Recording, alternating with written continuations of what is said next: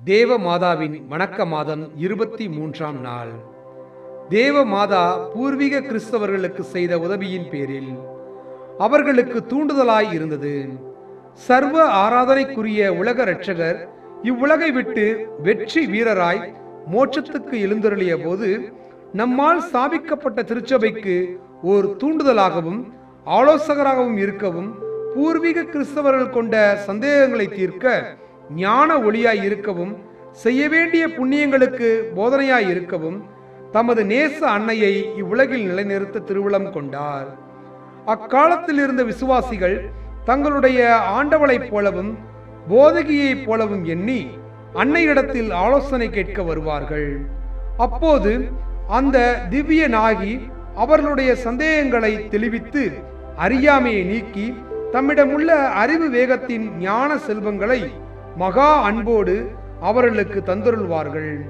நீங்கள் படுகிற சந்தேகங்களில் உறுதியான நம்பிக்கையோடு தேவ மாதாவினிடத்தில் ஓடி வந்து உங்கள் புத்திக்கு பிரகாசம் கொடுத்து உங்களை காப்பாற்றுமாறு மன்றாடுவீர்களாகில் உங்களுக்கு வேண்டிய ஞான பிரகாசங்களையும் வரப்பிரசாதங்களையும் நீங்கள் நிச்சயம் அடைவீர்கள்.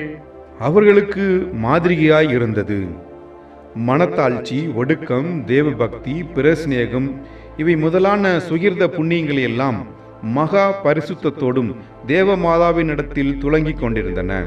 இந்த பரம நாயகியின் வாழ்வெல்லாம் பரிசுத்தத்தின் உத்தம மாதிரியாக இருந்தது.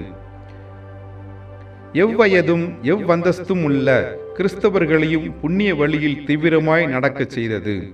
பூர்வீக விசுவாசிகள் அன்னையிடத்தில் உன்னத சாங்கோ பாங்கமாக இருக்கிறதைக் கண்டு அதிசயப்பட்டு தங்களால் இயன்ற மற்றும் அவர்களை பின் செல்ல பிரயாசைப்பட்டார்கள்.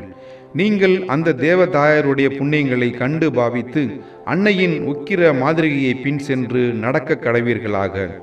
அன்னையினுடைய நடத்தையும் உணர்ச்சிகளையும் இடைவிடாது தியானித்து ஆராய்ந்து பார்ப்பீர்கள் ஆகில் சர்வேசனுக்கு தக்க பிரமாணிக்கத்தோடும் ஊழியம் பண்ணவும் புறத்தியாருக்கு செய்ய வேண்டிய உதவியை செய்யலாம். கற்பை நேசிக்கவும் பரிசுத்தமாய் வாழவும் அவசியமான வழிகளை ஆராய்ந்து கொள்வீர்கள். அப்படி எல்லாவற்றையும் பார்க்க சர்வேஸ்வரன் அதிகமாய் சிநேகித்து உங்களுடைய சரீரத்தை பகைத்து மனத்தாழ்ச்சியும் அடக்க ஒடுக்கமும் தேவ பக்தியும் உங்கள் கடமையை செலுத்துவதில் பிரமாணிக்கும் உள்ளவர்களாய் இருக்க தேவ மாதாவினிடத்தில் கற்றுக்கொள்வீர்களாக. அவர்களுக்கு அடைக்கலமாய் இருந்தது. தேவ மாதா பூர்வீக கிறிஸ்தவர்களுக்கு அடைக்கலமாயிருந்தார்கள் அவர்கள் தாங்கள் அடைந்த கஸ்திகளிலும் திருச்சபைக்கு உண்டான துன்பங்களிலும் தங்களுக்கு அவசரமான காரியங்களிலும் தேவமாதாவின் அடைக்கலத்தை தேடி ஓடி வருவார்கள். அன்னை தங்கள் பேரில் மிகவும் பிரியமுள்ளவர்களாயும் தம்முடைய திருக்குமாரனிடத்தில் சர்வ வல்லபமுள்ளவர்களாயும் இருக்கிறதை அறிந்து கெட்டியான நம்பிக்கையுடன் அன்னையின் ஆதரவை தேடிக்கொண்டிருந்தார்கள். நீங்களும் இந்த நியாயங்களை கண்டுணர்ந்து தேவ மாதாவின் பேரில் தளராத நம்பிக்கை கொள்ள கடவீர்கள் நீங்கள் மேற்கொள்ளும் லௌகீக இக்கட்டுகளிலும் உங்களுக்கு தேவையான ஞான காரியங்களிலும் உங்களுடைய திருத்தாயாரை நோக்கி அபயமிட்டு மன்றாடுங்கள். அந்த பூர்வீக கிறிஸ்தவர்கள் செய்ததைப் போல் பக்தியோடு மன்றாடுவீர்களாகில் உங்களுடைய மன்றாட்டுக்களுக்கு இறங்குவாள் என்பது நிச்சயம். சில சமயங்களில் நீங்கள் கேட்கிற காரியங்களை அடையாதிருந்ததினால் நீங்கள் பக்தியுடன் வேண்டிக் கொள்ளாமல் இருந்ததினால்தான் அவைகளை அடைய முடியவில்லை என்பதை அறிந்து கொள்ளுங்கள். ஜெபம்.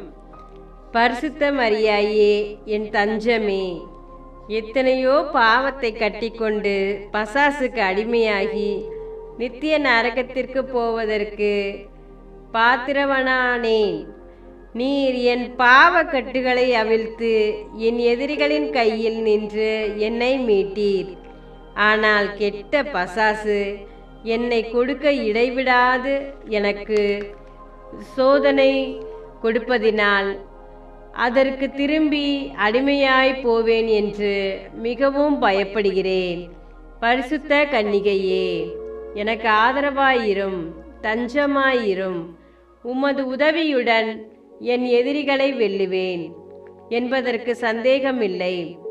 ஆனால் எனக்கு வரும் தந்திர சோதனைகளிலும் விசேஷமாய் என் மரண வேளையில் பசாசு என்னுடன் கொடுக்கும் கடின யுத்தத்திலும் நான் உம்மை மறந்து போகாமல் உமது அடைக்கலத்தை உறுதியான விசுவாச நம்பிக்கையுடன் தேடும் பொருட்டு எனக்கு விசேஷ உதவி செய்தரலும் அப்பொழுது இயேசு கிறிஸ்துநாதருடைய திருநாமத்தையும் உம்முடைய இன்பமான திருப்பெயரையும் ஜெபமாலையை பக்தியோடு சொல்லி இஷ்ட பிரசாதத்தோடு நான் மறிக்கும்படிக்கு கிருபை செய்தரலும் இத்தினத்தில் அடிக்கடி சொல்ல வேண்டிய சுகிர்த ஜெபமாவது. கன்னிகைகளுக்குள் உத்தம கன்னிகையே நான் என் பாவங்களை வெறுத்து எப்பொழுதும் உம்மை நோக்கி சிந்திக்கும்படியாக உதவி செய்தரலும் இருபத்தி மூன்றாம் நாளில் செய்ய வேண்டிய நற்கிரிகையாவது ஏழைக்கு உணவளிக்கிறது.